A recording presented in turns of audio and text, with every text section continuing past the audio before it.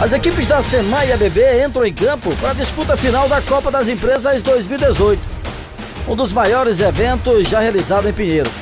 O time da SEMAR chega como azarão da competição, já a ABB na qualidade de favorito, que quase chega ao gol neste lance. O time da ABB segue perdendo gols. Aí, o Pajé entra em cena e chama a galera para conversa. O time obedece o mestre e volta bem. O gol é questão de momento. A Bebê responde com o Ceará, que deixa a Xande na cara do gol para desperdiçar o gol feito. Bibi fica trilouco na beira do campo. Aí Bereca manda Jaelson mais cedo pro chuveiro.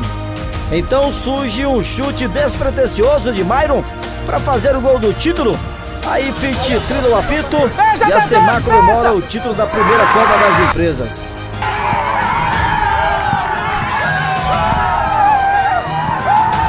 Goleiro Maceno foi o melhor da competição, muito decisivo na reta final. É, parabéns para a equipe, né? Acho que valeu o empenho de cada um. Soube jogar o jogo, um bom jogo, uma boa equipe. E graças ao empenho de cada um, a felicidade de Lázaro pegou muito bem na bola. Do Bailão, desculpa. Estamos sendo campeão. E para o comandante daquela camisa branca, a, a camisa, sim, a camisa é boa, o material dela é muito bom.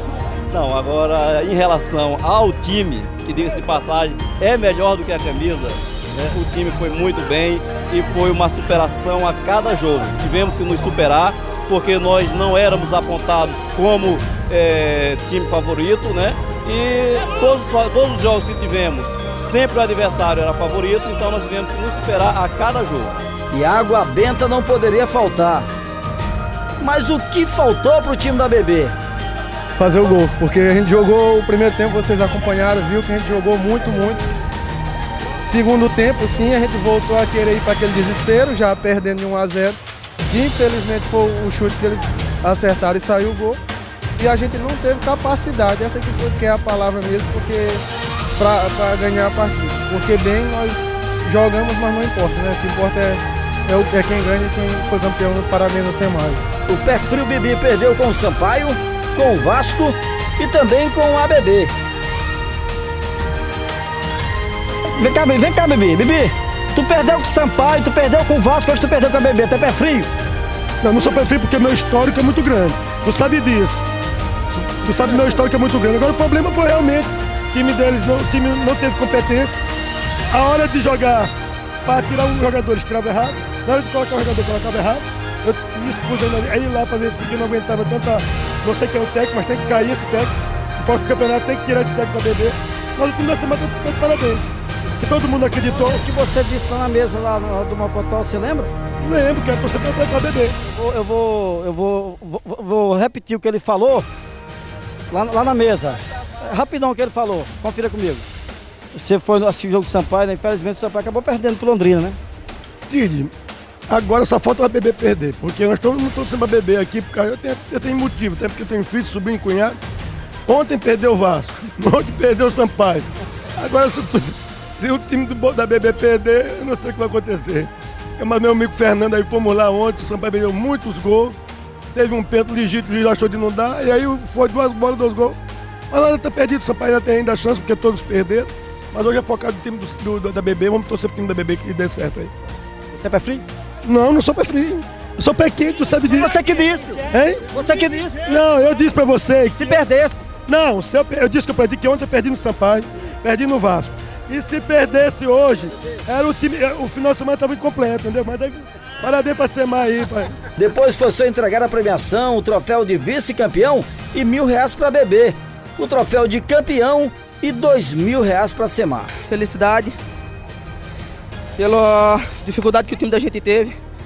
Estava dizendo que a gente foi o último time a se classificar no campeonato, mas a gente foi campeão no torneio início. Pena que eu não estava nesse torneio início, mas hoje, em alguns jogos que eu pude vir, consegui representar o time que é da Semar e hoje sair aqui com a vitória e o campeonato daqui da ABB.